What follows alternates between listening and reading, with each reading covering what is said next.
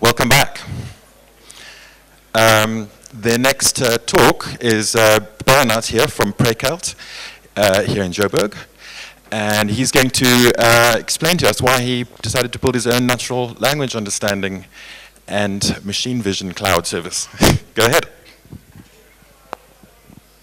Thanks. Uh, yeah, that will be definitely part of it, because usually when um, we say that we've been building our own, people ask why, so I, I will definitely go into that as well.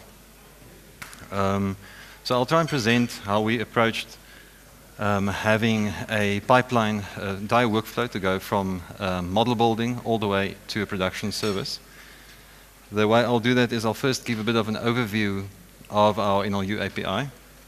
Uh, we've recently added some vision models in there as well. Some of our applications, including chatbots, have a, a vision aspect. And I'll present the um, service then kind of from the inside out. So starting from the models, going out towards the, the service side. And um, I would just like to note this is not a open source present, uh, project that I'm presenting. It's still a closed source project. So the focus is rather on the technologies and the um, things we learned along the way. Um, maybe at some point this becomes an open source project, which would be excellent, but uh, for now it's, uh, the focus is, is not on the, the API or the specific APIs or source that we developed, but the, the general, general approach. So um, I mentioned that I'll first present a bit of an overview of what the API is. Uh, it's mainly built for uh, creating chatbots. And um, you'll see that uh, those of you familiar with um, NLU for chatbots will know that there's usually navigation intents involved. You want to do some information or entity extraction. Maybe you want to do some emotion or sentiment detection. And on the vision side, there's usually some visual entity extraction. If you take a photo of something, you want to help the, the user understand what it is or extract um, uh, information about the object. And um, I want to show this one DSTV example that, that um, we've been building. For example, a user might come in, um, that the, the, green text is from the user right inside, standard WhatsApp interface. The user might come in and say, okay, my smart card number is this. Then the system goes to the back end, extracts some information, identifies the user, and then presents options to the user, at which point the user can, for example, say, what is my balance, and then the system responds with account detail and, and balance. That's the kind of um, interactions that, that we're building with these chatbots. Uh, does that make sense? Does everyone sounds like it? Um, so I did this.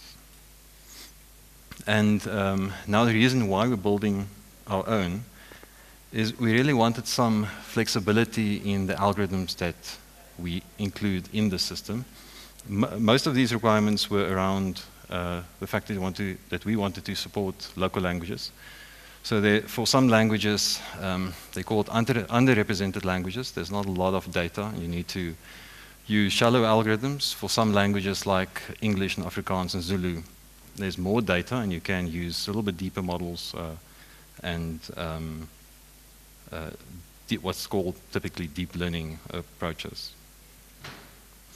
We also want to include some custom uh, pre-trained visual models for visual, visual entity extraction.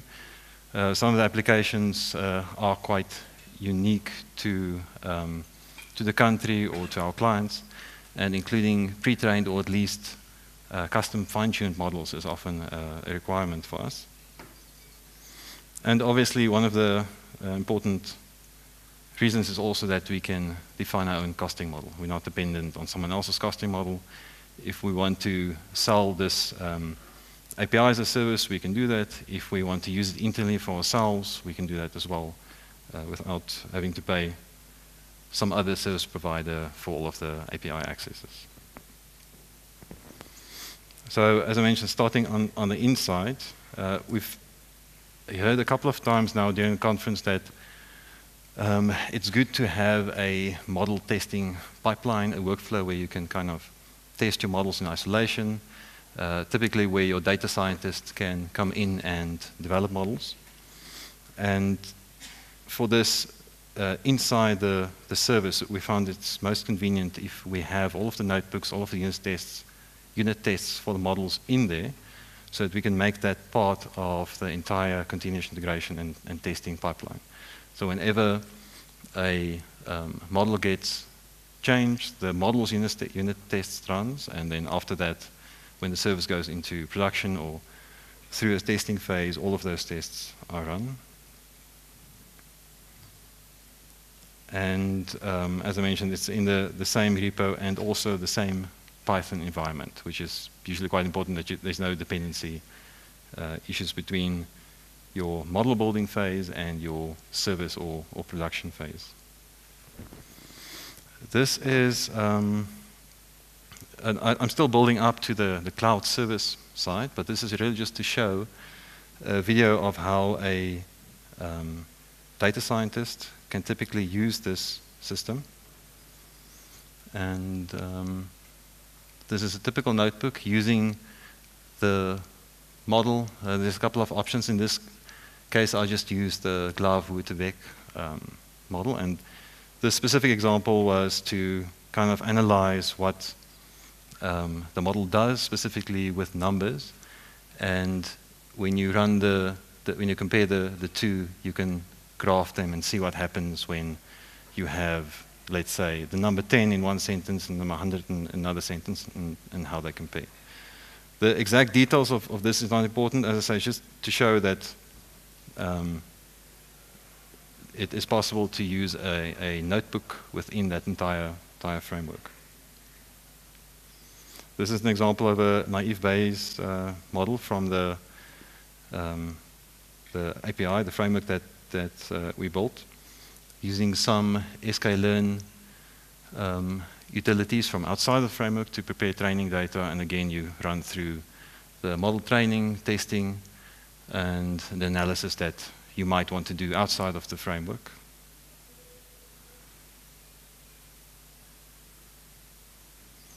and then you can print whichever test data might be needed for the specific testing set, and you can then take that further to, to improve the model. Um, same if you might want to do this in a Colab environment where um, you might want a GPU in the cloud.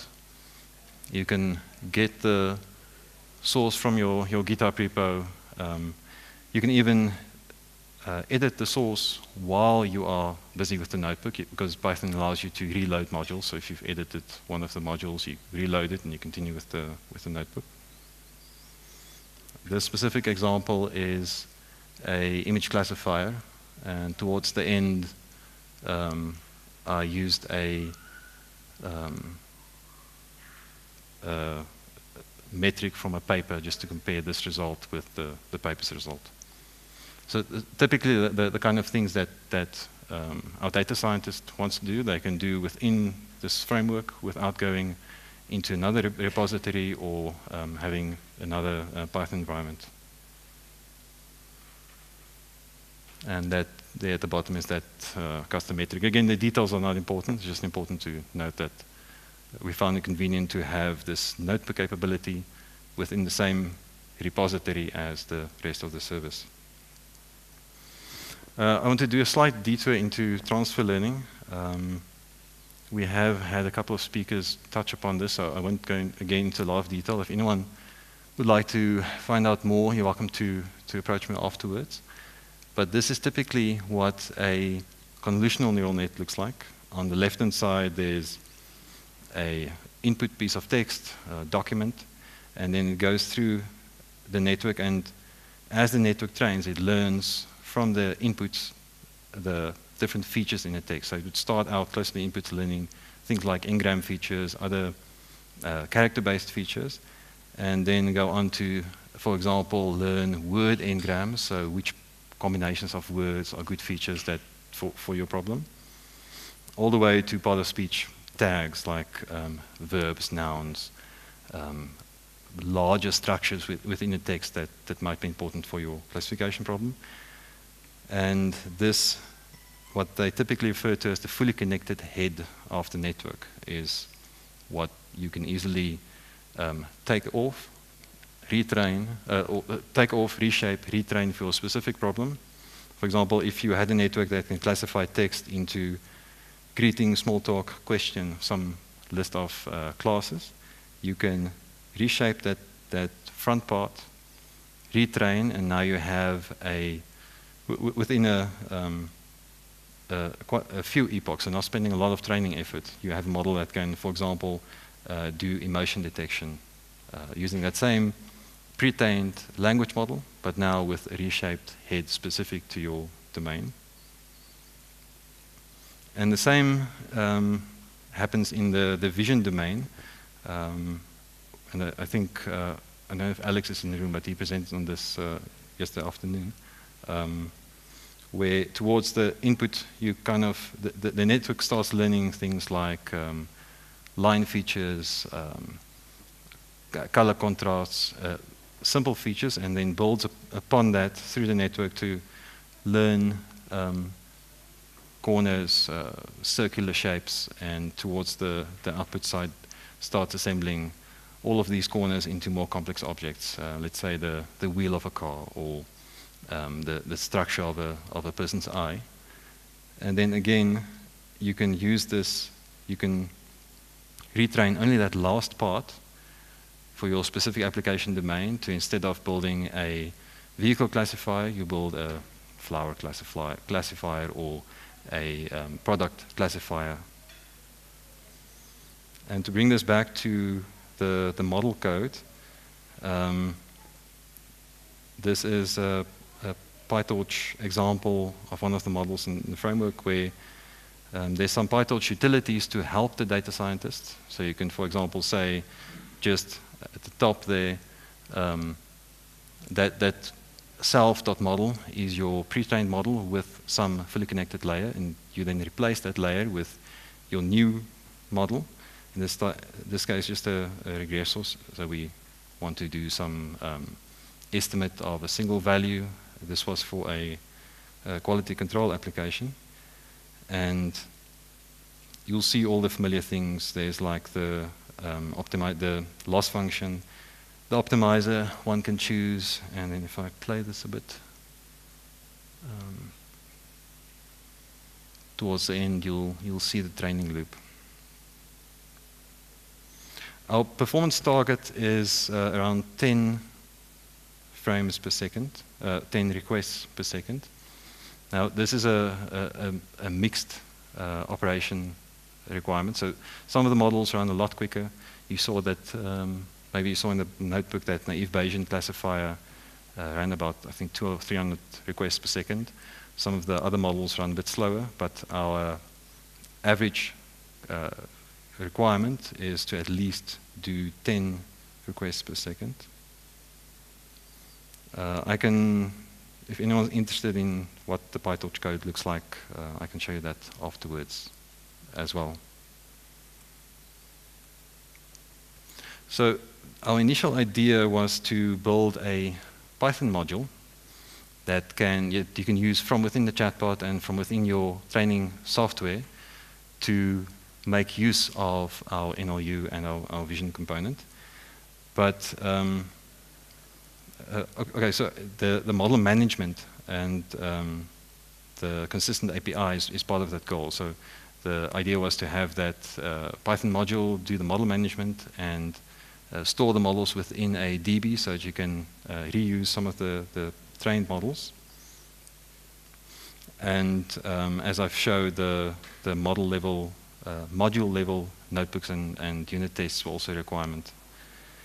Um, this is what the typical API looks like, where for a NLU model, for example, you would first load your language model, then you would uh, load your, your uh, training and testing data, and then diff there's different um, uh, methods and modules within the framework to do this. Uh, what we found is convenient is if you have within your software stack um, a module that loads all of the data for you, so you don't have to go and um, search for data sets or load data sets from different places, that you can from within this one environment load all of the data sets that, that you might need. and then you can go, go on to train it, um, test it, and this last call is what the typical inference call looks like. Um, and it's very much the same for vision, where you still have to load, in this case, a vision model. It's not no longer a pre-trained language model. And you can then still load uh, your training and testing data, uh, train the classifier, do some testing, and um, the, that last example is again what the, the inference call looks like. Um, so the, for the Python module, the, the model workflow and uh, lifecycle ma management was okay. We, it did what we wanted it to do. There were some difficulties, though, in having a Python module encapsulate all of our NLU and vision capabilities. And that was mainly around scalability of inference. So during production, if your chatbot pulls in this um, module, you're kind of limited to the processing of whatever platform the chatbot is running on or whatever um, instance the back end of that chatbot is running on. And also, we found that the, the ownership of the training data as well as the ownership of the hyperparameters. So being able to um, manage all of that training data and hyperparameter sets per model instance uh, with uh, outside of, of the chatbot would be more convenient. Uh, so, of course, we then drew an architecture diagram, and I'll go into more detail on it now, and um, added a, a REST API. So this first part is what I explained, where your data scientist works at the top on the module level. Uh, they have unit tests there. They have all everything they need to to uh, do their work there. And then you have a, a, Python module that encapsulates that and puts it behind a standard API. And below that, you have a multi-user environment, um, kind of the beginnings of a, a REST interface, which would give you multi-tenancy, um, take ownership of your training and testing data as well as the hyperparameters. and um, this is what that wrapper interface looks like. Now, we don't use this um, in any of the products in this form. We, I'll, I'll show you now what the REST wrapper, uh, the, the, service wrapper around this uh, looks like. But again, you see that um, you have a function to create your, uh, in this case, the text classifier. Uh, what's been added is this authorization token. So now you have the ability to do multi-tenancy. The models are actually namespaced also using um, a, a, derived um, variable from the authorization token. So you have isolation of uh, your tenants and still, you can add training data, you can train it, and all of this is now based on the um, model's name. So uh, the wrapper layer has taken ownership of, of the data and still, still the model. And then a typical uh, retrieve call uh, is shown at the bottom there where you provide the model's name, the authorization token, and the text that you want, in this case, the text classifier to, to operate on. So as I mentioned, the, the benefits of using a, a, wrapper layer is um, that you have multi-tenancy. So you have, we've decided to, to use API key authentication, but you have multi-tenancy due to the namespacing. And the um, training and testing data and all of your other parameters are kind of um, uh, taken care of through this uh, REST or CRUD interface. And um, this is what that part of the, the architecture looks like. We started with a Django, uh, our version one of the REST API was Django. We then switched to a, a Swagger and Flask implementation. I'll, I'll, show you a bit of, of um, the reasoning behind that. But the idea is to be able to add additional interfaces um, as we need to. If we need a, some bar or similar type interface, we can add it. If we need some other weird API um, stack, we can add that as well. And I can quickly show you the Corpus Manager that, that we built. Um, this uh, colleague of mine built. And again, it's convenient to have this, well, we found it very convenient to have this visual way of training and, and testing our models. So you can see there's an example of someone adding a duplicate to the model, so there would be some confusion that's picked up in your creation interface, and then you can inspect it and, and fix it. Um, this system is built on a Django backend and a React front end. And then of course you can go and delete the, the sample that, that was caused the, the confusion.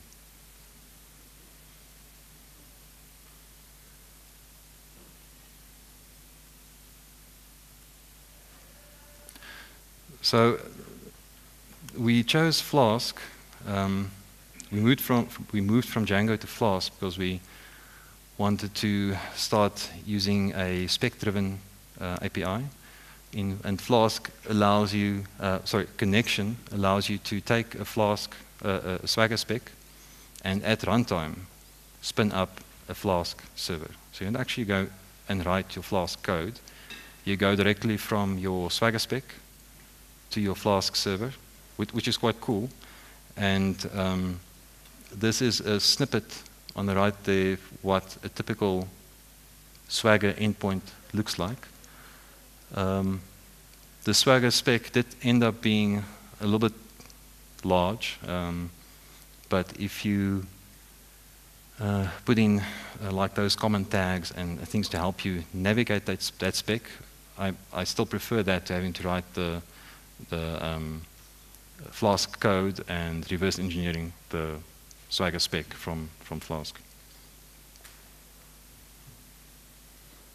Um, the way you do that is to use Connexion at, at runtime. So you start a Connexion app that encapsulates your um, Flask app from your specification, and then there's certain parameters that, that you can um, have, like you can put it into debug mode so you can inspect it a bit, or you can add certain, um, uh, you can fill in certain variables that you've left in the Swagger spec, in your Swagger spec to maybe uh, customize it a bit. Uh, one does still need to implement the controllers. You, you need to tie the, the Flask server to your own code somehow.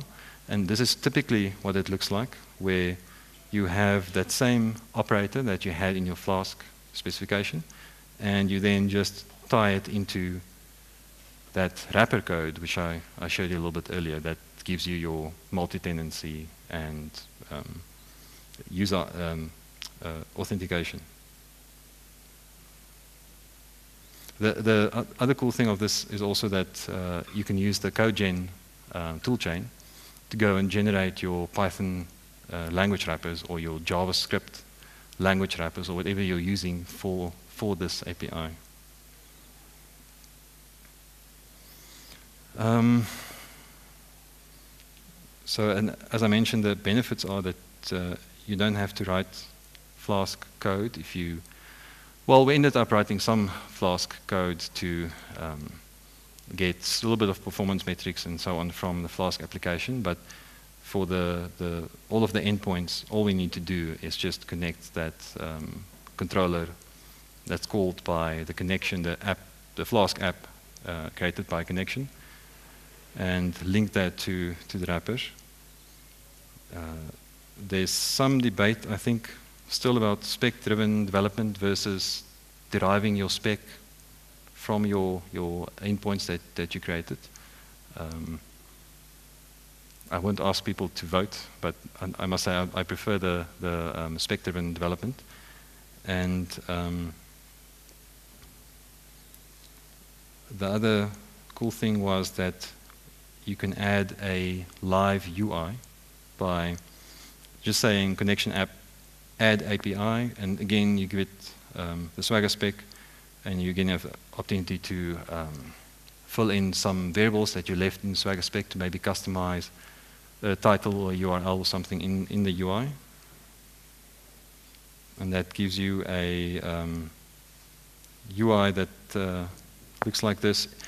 Uh, it looks very similar to um, the Django React, uh, REST frameworks UI, uh, where you can inspect for each of the collections, you can kind of expect, uh, inspect all of the endpoints within that. And per endpoint, uh, if you authenticate it, you can start interacting with the API, filling in the parameters, and it will do the call to the service for you, but it'll also give you the call request that used as a, um, a feedback in this API, which you can then go and use for whatever testing purposes you, you might want to. Um, and on to monitoring. We use Prometheus plus Grafana. So the, the uh, uh, I just created a decorator for the wrapper functions that kind of does this Prometheus um, instrumentation, and all we ended up needing was uh, the Prometheus gauge. Nothing fancy. Uh, initially, I wanted to try the, the histogram, uh, the Prometheus histogram, but um, ended up not using it. The, the, the first one I tried was uh, the performance of it really wasn't that great, but I probably could have done that a bit better. So if anyone has um, experience with Prometheus uh, histograms, I'd like to, to hear how you, how you did it. Uh, for example, a request latency gauge, if you want to measure the, latency of a, of a request, uh, you can create the gauge, uh, Prometheus gauge like that, where you give it some parameter that you will uh, populate when, when um, uh, filling in this, this metric. And that's what that looks like, where a gauge would have a set to a specific value, so it's setting it to an absolute value. And the endpoint you can then make, in this case I use the um, wrapper uh, function name, which matches the controller name in the, in the spec. So you can have a nice um, one-to-one mapping between the, the gauge details and um, what's in the spec. And in Grafana, Grafana, it then looks like this, where um, I don't know who, who's using Grafana. Uh, I would imagine it's, it's a couple of, of people. Um, I can also recommend it. I found it works quite well, even if you um, have really complex uh, queries, uh, Grafana uh, queries on your, your Prometheus, um, it still performs relatively well. And in this case, you can see I've logged, for example, the API call counts. Uh, I think this is over, over a day period. And you can get the details of the different API keys, so the different users that um, when, when, when they're busy, um, or you can do that for example, per endpoint, so you can see when a specific endpoint is being called more often or um, how expensive specific endpoints are throughout the, the time period. And uh, the alerting we added to this was um, just having a health endpoint on um, the Flask and the, the side, so the health endpoint calls all the way into the DB to see if everything is fine, and we monitor that with Pingdom, and we added a, a um, Slack webhook from the Grafana alerts. So whenever there's a problem on your Grafana, when that alert triggers, we get a, a Slack message into our, one of our Slack channels. And of course, uh, we ran on GCP, but on whichever hosting platform you are, you can get some, some metrics from, from them as well, some uh, resource metrics and health metrics. So on the deployment side, um, we deploy Flask um, on Gunicorn. So It uh, seems to be pretty stable. We haven't had any issues. Uh, it's all containerized. The um, um, stack we use at the moment is Rancher 2 on Kubernetes, with Kubernetes on GCP. Previously, we, we used uh, uh, just Rancher, the first version of Rancher on Hetzner. And the Docker images haven't changed much. We just had to set up the, uh, from going from Docker Compose to the Kubernetes um, uh, config files. Uh, it's the DB is uh, Cloud SQL DB, and then there's an Nginx load balancer, and uh, this is typically what what the setup then looks like, where you have Nginx on the left on the the user side, and then you can have a couple of um, instances of the service where uh, we've about met our performance requirement of 10 requests per second. There are still a few optimizations we can do, but for um, the application we're building, so for the access pattern that, that we are supporting, this allowed us about 1.5 monthly uniques, um, which for the, for the moment is, is more than enough. And we've done some tests where we scale that up using 10 containers, which gives um, 100 requests per second. And the, the, the bottleneck is definitely not the, this DB. It's a single, single DB, so there's one central DB. But the bottleneck is the, the processing on the, in, inside the containers. So we can probably scale this up um, more as, as we need to. Questions?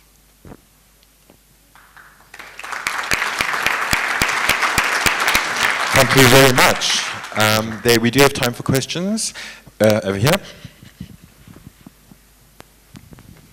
Well, congratulations on what looks like a really clean and beautiful abstraction you've written. Thank you. Um, I was wondering, uh, so what's, what kind of man hours are required for a project of this kind in terms of team sizes and such? Um, we started out with a, a, small team size. I think the um, typical recommendation if you're starting something like this, is to have a um, small um, full stack team. And that's, that's what, what we did. So we started with a, a, just a couple of people, and it's been about, I think, two years now.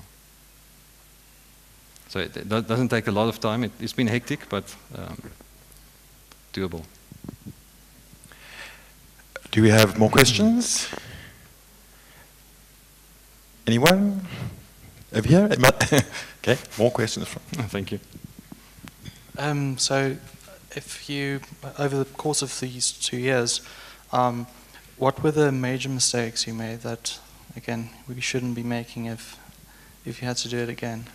Well, I would say we attempted to build a Python module. Uh, initially, that, that was a goal to encapsulate all of this within that, that module. And then we fixed it by having a REST layer, a, a multi-tenant, and what ended up being a, a, a REST stack around it. Um, that's definitely one. Do you have more questions? Anybody? uh, down here, one second.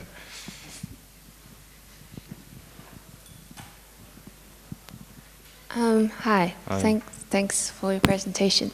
Um, it seems like you used ELMo as your NLP um, architecture. Of, yeah. Is there a desire to move over to BERT, or did you consider BERT? Um, we, we are looking at BERT at the moment, um, more for translations, um, but uh, that's simply one of the ones we, we want to look at. The, the models we've been focusing on up to now is models that we think would be more suited to under-resourced languages. So where there's not a lot of data, where BERT typically is a bit uh, data intensive. But we definitely want to look at it.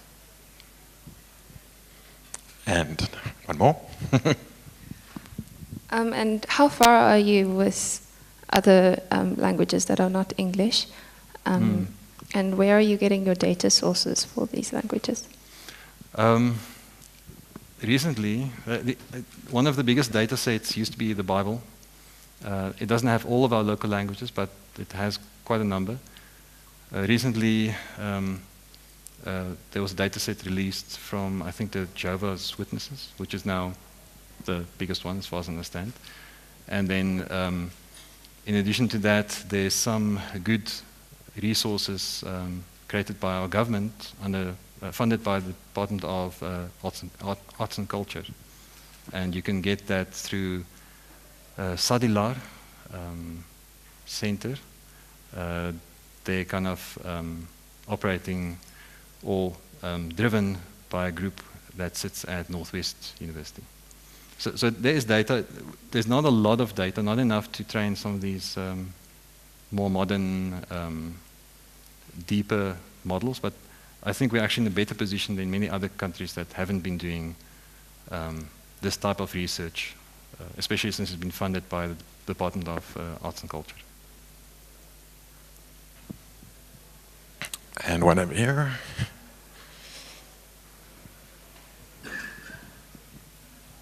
Hi, so I want to know if you get the, the, the texts from the Bible in Zulu, do you have to do the whole POS tagging yourself? The, all, the whole? Uh, POS tagging and entity detection. Oh. Do you have to train the models yourself? Um, so the um, benefit of using a deeper network is that it kind of learns those feature representations itself. So it might not learn exactly what we um, call part of speech tags, but it learns something similar. So if there's enough data, you can ask the, the network to to learn the, the character, the word, and the, the, the word uh, structure features. If there's not enough data, then we rely on work done at universities. And there's been some, some good work done on, on stemmers and part of speech taggers for um, many of the local, local languages. Um, there's maybe time for one more question. Uh, Neil, over there.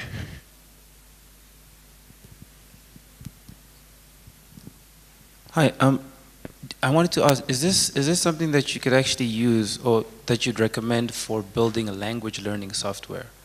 Um, so, like maybe like a Zulu, like an interactive language learning mm. software like Duolingo, yeah. um, with Zulu lessons that you could also convert to other, and, and, and it would learn how to like convert between, yeah. like ba basically build its own lessons kind of thing for different um, languages. There's a company in the UK, I forget the name now, but I can, I can look up the name that's doing that, where they're using um, natural language understanding um, models to build um, exactly that software to help you learn African languages. Um, sorry, I can't remember the name of the company now, but I can look it up if you. Um, okay, there might be one quick one more quick question for anybody? You again. Could you briefly discuss um, what your test, uh, your test automation looks like? The, um, what technologies you used for that? Um, it's all Python unit tests, so nothing fancy, just the, standard um, unit test that you would expect to use on any of your APIs. We use that for the models as well. So the, the model has certain um, responses it needs to give or it has certain accuracies it need, needs to achieve with that same input data. And if it passes those tests, we tend to, to trust it. Okay, Bernardt, thank you very much for the talk. Pleasure.